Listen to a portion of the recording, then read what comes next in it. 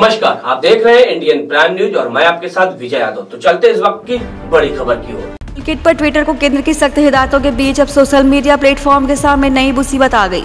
सरकार ने social media platform के लिए इसी साल 25 फरवरी को गाइडलाइन जारी की थी और इन्हें लागू करने के लिए तीन महीने का समय दिया था।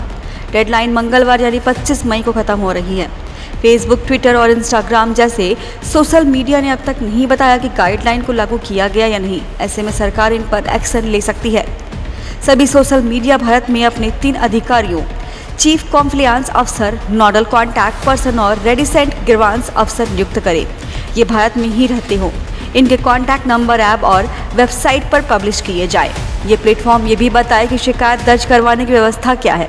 अधिकारी शिकायत पर 24 घंटे के भीतर ध्यान दे और 15 दिन के भीतर शिकायत करने वाले को बताए कि उसकी शिकायत पर एक्शन क्या लिया गया और नहीं लिया गया तो क्यों नहीं लिया गया। ऑटोमेटेड टूल्स और तकनीक के ज़रिए ऐसे सिस्टम बनाएँ जिसके ज़रिए रेप बाल यौन सोशल के कंटेंट की पहचान करें। इसके अलावा इन पर ऐसे इन्फॉर्मेशन की भी पहचान करें जिसे पहले प्लेटफॉर्म से हटाया गया हो।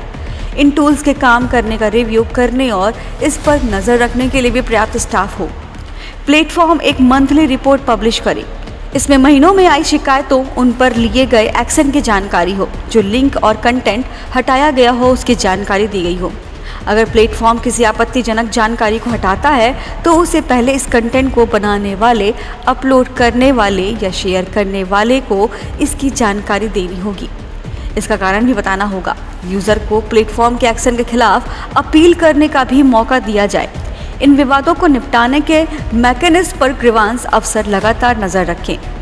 अब आपको बता दें, समस्या आ कहाँ से रही है? क्योंकि 50 लाख या इसके ऊपर यूज़र, बेस वाले मुख्य सोशल मीडिया प्लेटफॉर्म को ये नियम लागू करने के लिए तीन महीने का वक्त दिया गया था। ये मियाद 25 मई को ख़त्म हो रही है। सिर्फ़ इंडियन सोशल मीडिया कंपनी को ने गाइडलाइंस का पालन किया है। इनके अलावा ट्विटर फेसबुक और इंस्टाग्राम जैसी कंपनियों ने अब तक ऐसी किसी कदम की जानकारी नहीं दी है।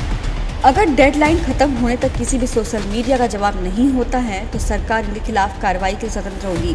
सूत्रों के मुताबिक नियमों का पालन नहीं होता है तो सरकार इन सोशल मीडिया प्लेटफॉर्म्स को दी हुई इम्यूनिटी वापस ले सकती है। इस इम्यूनिटी के तहत सोशल मीडिया प्लेटफॉर्म का रोल भारत में इंटरमीडियारी यानी बिचौलिए के तौर पर दर्ज है। इसके मायने ये हैं कि अगर कोई यूज़र किसी पोस्ट को लेकर कोर्ट जाता है तो इन प्लेटफॉर्म्स को अदालत में पार्टी नहीं बनाया जा सकता।